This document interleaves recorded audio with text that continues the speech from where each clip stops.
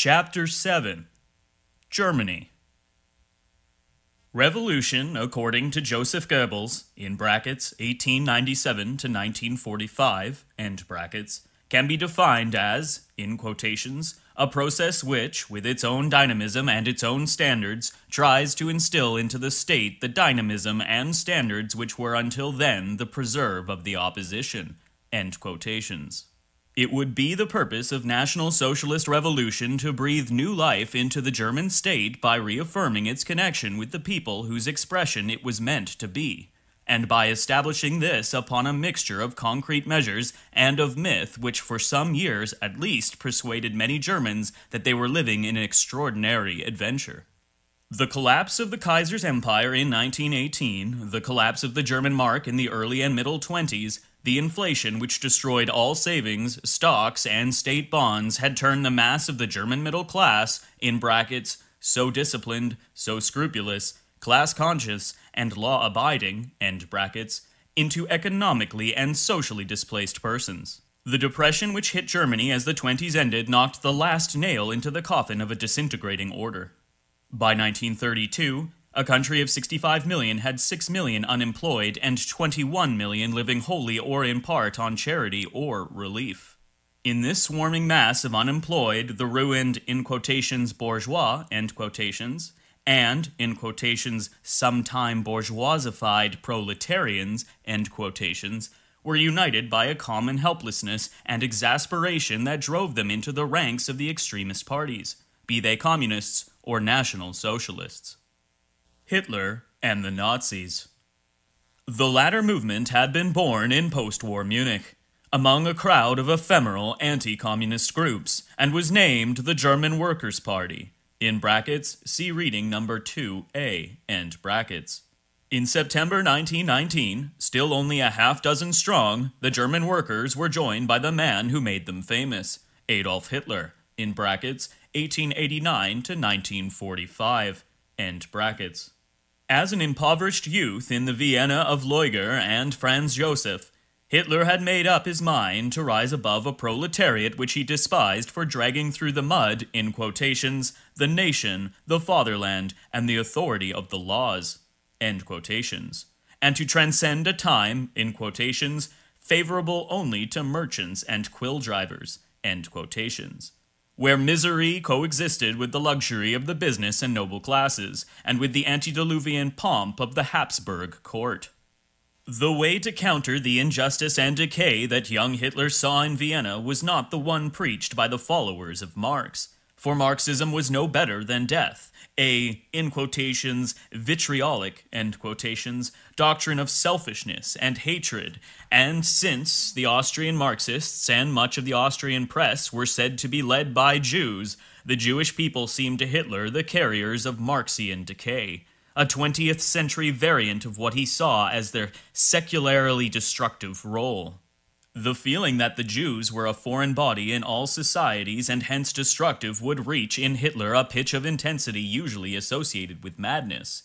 In quotations, if the Jew, with his Marxism, were to win, the earth would become a planet bare of men as it was millions of years ago. End quotation. Although the fierceness of his beliefs disgusted some, it seems to have had a convincing effect on others, helping to turn his arguments into invocations, the more impressive for being less coherent and closed to critical examination.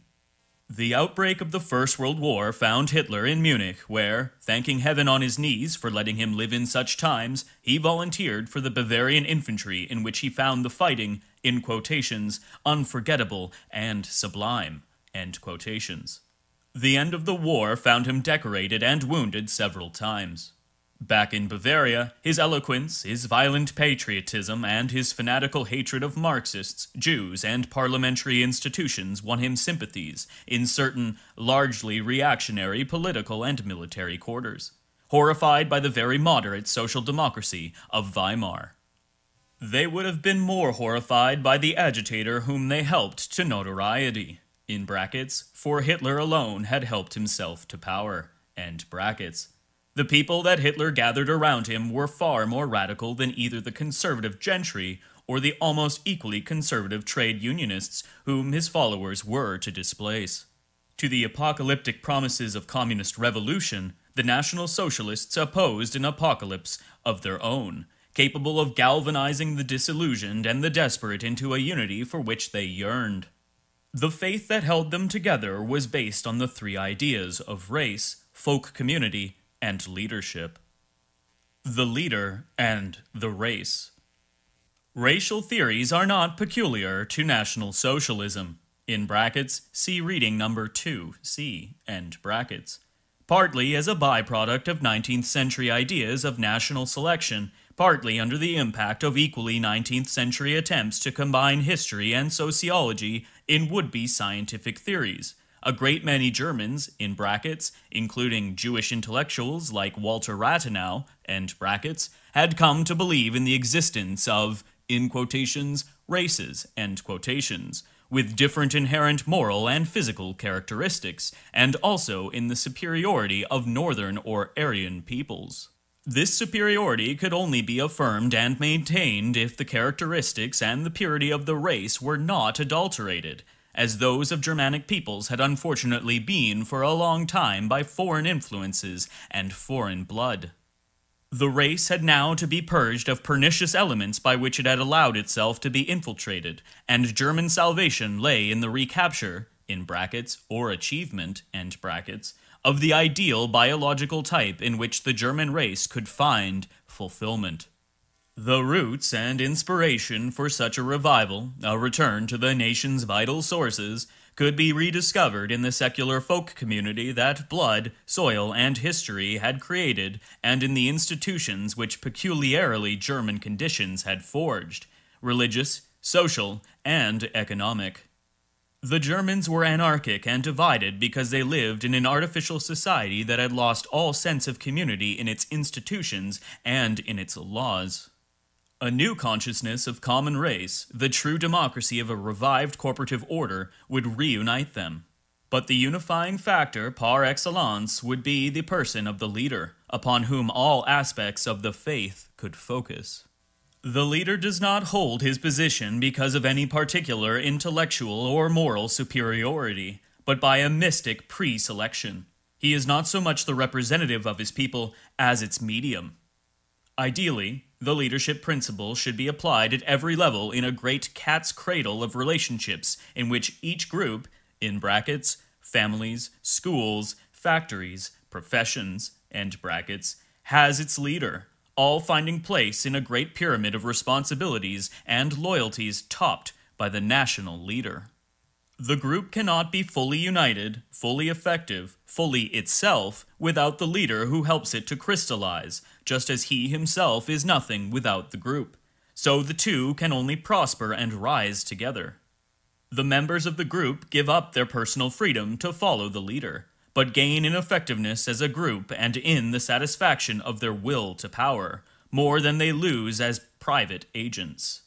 The relationship is not recorded in a contract, not even reflected in a reasoning process, but similar to the selection of pirate and robber chiefs, or that of certain military castes in which a bond of honor and mutual devotion unites the leader to the men he leads. The notion of race evoked familiar echoes in the minds of the German bourgeoisie. That of the folk community had the attraction of a certain romantic socialism, the last that of the leader, fused all this in a group relationship and a hierarchy based on virtues different from those on which position in society heretofore depended. A new, biological democracy, in brackets, what one of Rathenau's killers called, in quotations, plebiscitary mass democracy, end quotations, end brackets, would take the place of the unreal and ineffective order where no one was really equal because unfair moral, intellectual, or economic differences set them apart. The Nazi Siegfried looked back to the equalitarian elitism of Sparta, to the barracks of the Prussian army, to the ideals of a classless society that some French revolutionaries had entertained. In the new order, not property but physical excellence would make for the superiority. Not class, but comradeship would provide the basis of the new peer groups. Not contract, but confidence would create the texture of social and political relationships. The party creates the conditions in which the Siegfried may be born and thrive. It also manipulates the machinery of the state, which appears in turn as, in quotations, the secular arm of the German community, end quotation. The community judges the state by its plebiscites. The state must form its policies to express the profound tendencies, in quotations, the general will, end quotation, of the nation, and the nation is purified, educated, and trained by the party. The party state must intervene in every aspect of public and private life, in brackets, hence the totalitarian state, end brackets, because, as Carl Schmitt writes, in quotations, any activity is potentially political and thus subject to political decisions, end quotations. And, furthermore, in quotations, it is as a political animal that man can be grasped in his totality and his existential essence, end quotation. These were the theories which, after 1930, would attract millions of German voters to the Nazi side. As the Nazi regime progressed, the distinction between civil and military society grew less.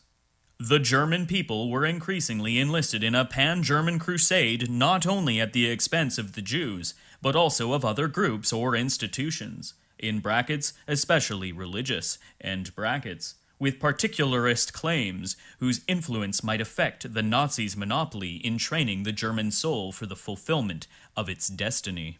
The opposition that such encroachments met was slight. The soldiers saw in the mobilization of the nation a source of power for themselves, the businessmen a source of profits, the bureaucrats the fulfillment of their dreams of total organization. Gradually, in quotations, fundamental laws, end quotation, created the, in quotations, unitary, authoritarian, popular, end quotations, state that Hitler had in mind. The Reichstag, which met seldom and then only to endorse official policy, was completely subordinated to the government, which combined executive and legislative power. Between the leader and the nation, said the doctrine, a bond exists. The leader must act to fulfill his duties and account to the people for what he has done. The people must endorse or reject his policies in direct consultations.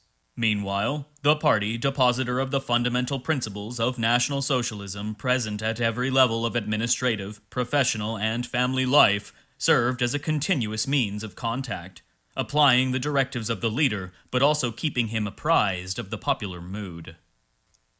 Organized autarky. Forceful but didactic, the Nazi conquest of Germany was relatively gradual. This appears most clearly in the handling of economic problems which affected every aspect of German life. To come to power legally as leader of the most numerous party in the Reichstag, in brackets, before it became the only one, end brackets, Hitler combined the destruction of the political structure which he found, in brackets, dissolution of political parties, taking over of the unions, unification of the Federalist Republic by suppression of local sovereignties, and establishment of a central national administrative and police structure. End brackets. With a socio-economic policy more cautious than Nazi theory implied.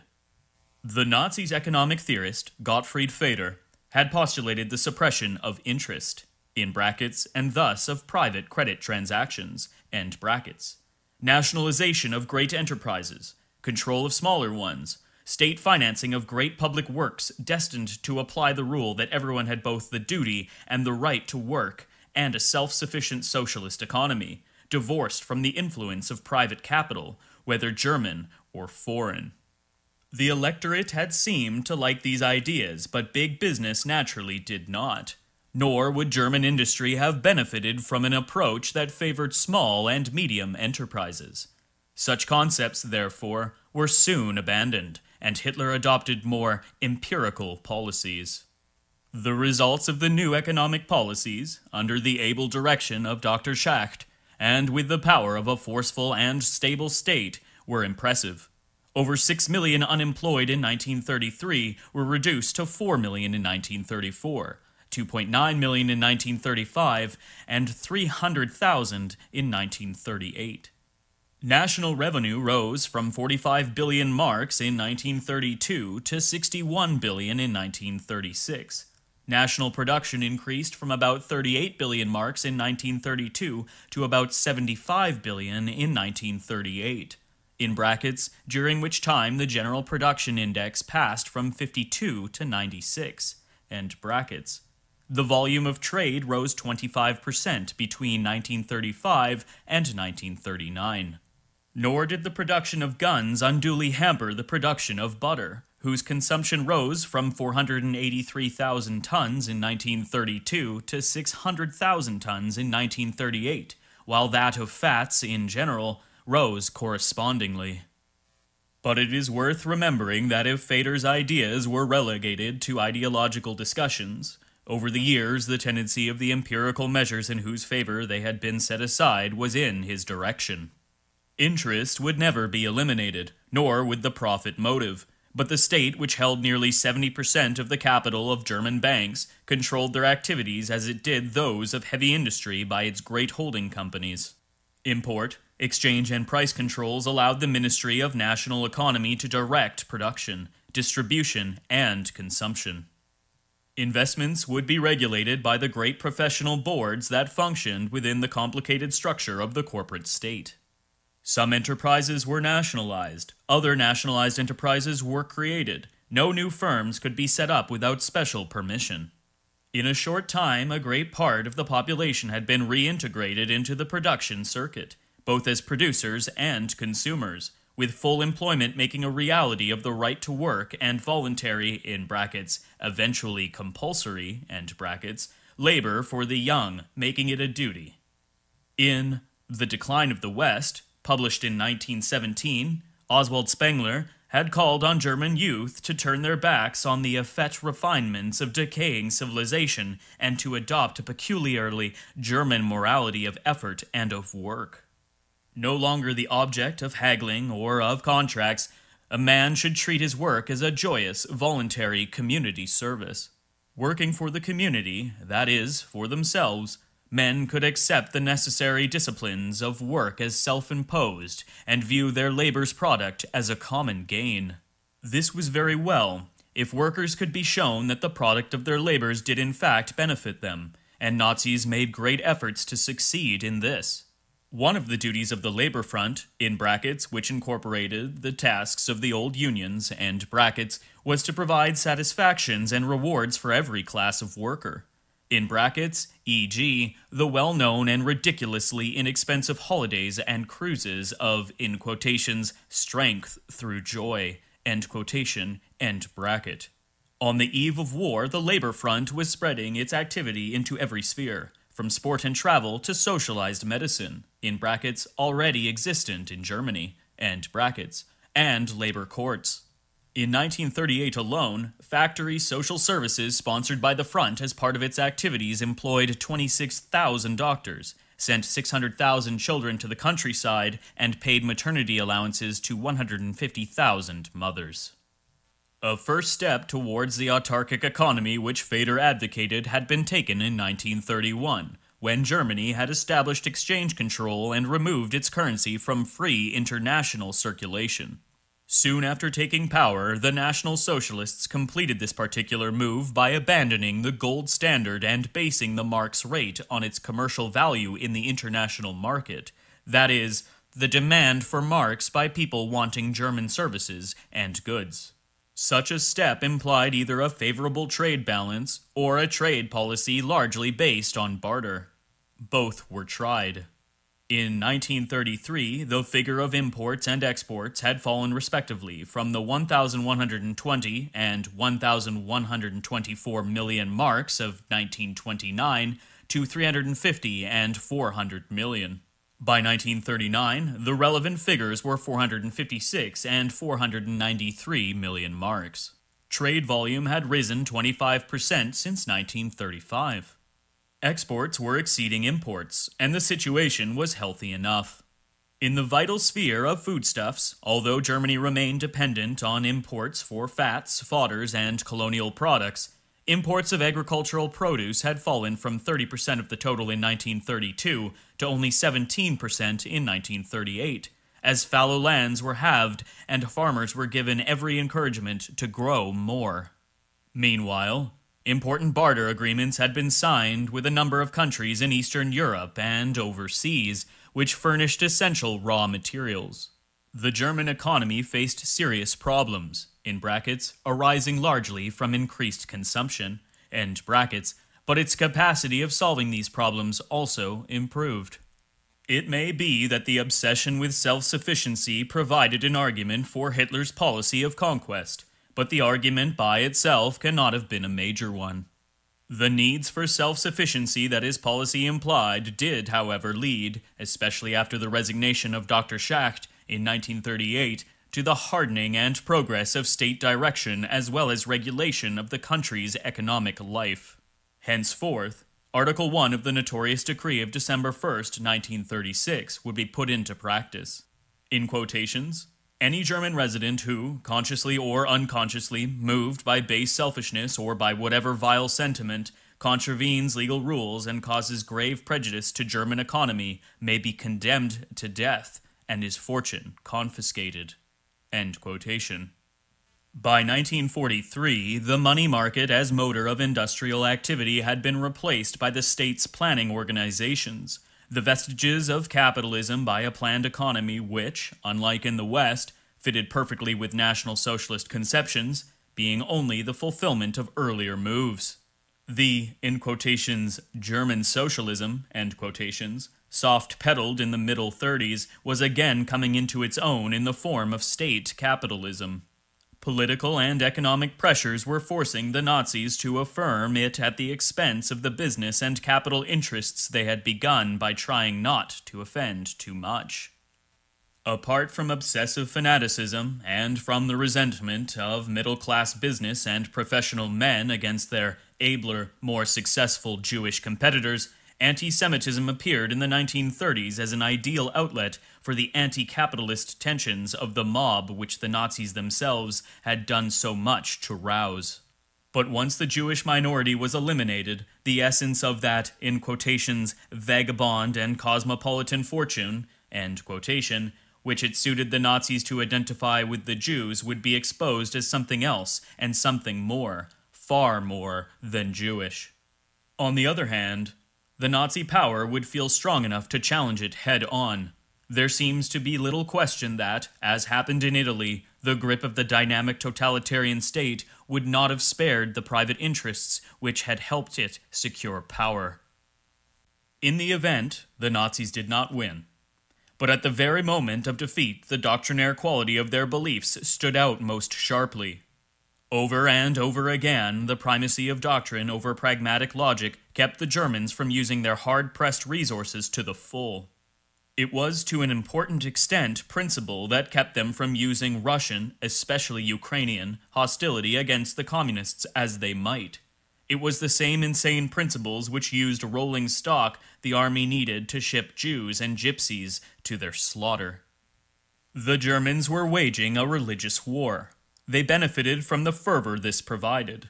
They also paid its price. Nations in our time seem caught in a strange dilemma.